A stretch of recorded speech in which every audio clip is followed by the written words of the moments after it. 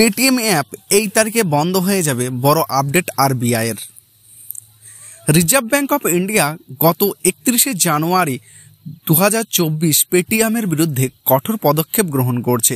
Paytm payments bank এর জারি করেছে আরবিআই।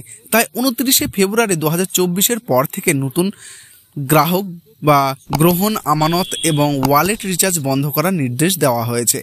এমন পরিস্থিতিতে যে সমস্ত ব্যবহারকারীরা পেটিএম ব্যাংকে অ্যাকাউন্ট ব্যবহার করেছিলেন, তাদের সমস্যা বেড়েছে। বর্তমানে মানুষের মনে নানা ধরনের প্রশ্ন ঘুরপাক খাচ্ছে। এই পরিস্থিতিতে একদম সঠিক আরবিআইয়ের নির্দেশে জানতে ও বিভ্রান্তিকর খবর থেকে দূরে থাকতে এই প্রতিবেদনটি সম্পূর্ণ পড়ুন।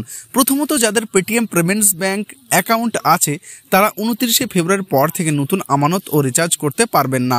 আবার এই অ্যাকাউন্ট থেকে পেটিএম ওয়ালেটে রিচার্জও করা যাবে না। তবে বর্তমান ব্যালেন্স ব্যবহার করা যাবে। নির্ধারিত সময়ের পর থেকে নতুন পেটিএম ফ্যাক্টম নতুন পেটিএম ফ্যাগট্যাগ কেনা যাবে না। তবে রিচার্জ করা যাবে। তবে পেটিএম পেমেন্টস ব্যাঙ্ক বন্ধ হলেও পেটিএম ইউপিআই পরিষেবা চালু থাকছে। এখন অনেকের মনেই একটি প্রশ্ন রয়েছে যে, উনত্রিশে ফেব্রুয়ারির পর কি গোটা পেটিএম অ্যাপ বন্ধ হয়ে যাবে?